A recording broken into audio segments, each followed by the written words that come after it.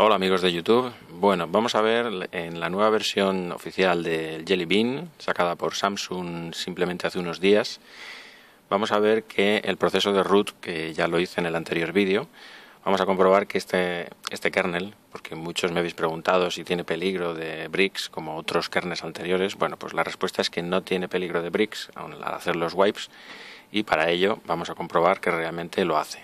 Bueno, aquí vemos que la versión que tengo instalada es la que aparecía en el anterior vídeo.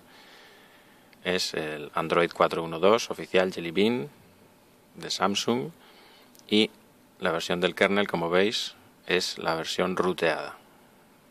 Y el número de compilación coincide. Vale, perfecto. Bueno, pues sabiendo que ya tenemos esta versión, que es la que ha salido última, vamos a hacer un apagado del terminal y una vez que lo apaguemos lo vamos a vamos a entrar en modo recovery y vamos a comprobar que realmente no tiene ningún peligro de bricks.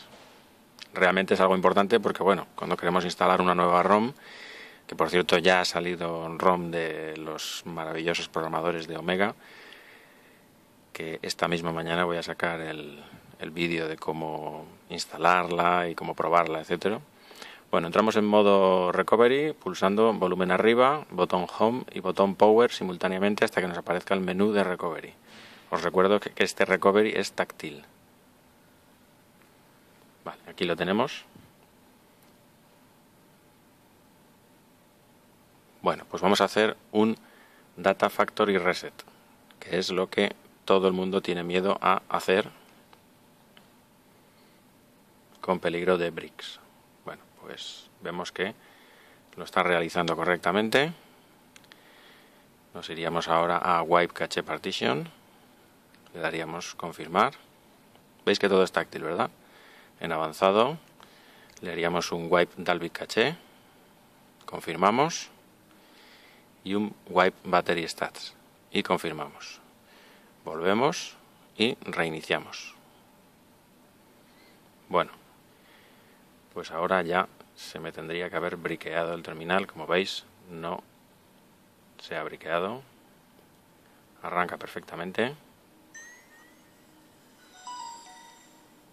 Lo único que ahora sí que va a tardar más en el primer arranque porque al hacer un factory reset es como si instaláramos desde cero.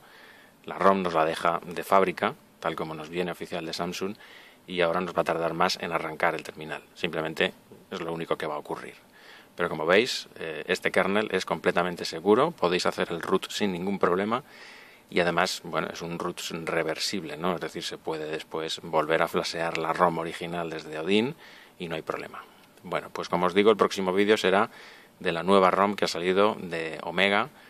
Es la misma ROM oficial, pero con las mejoras y las, eh, las cosas que aportan estos maravillosos programadores.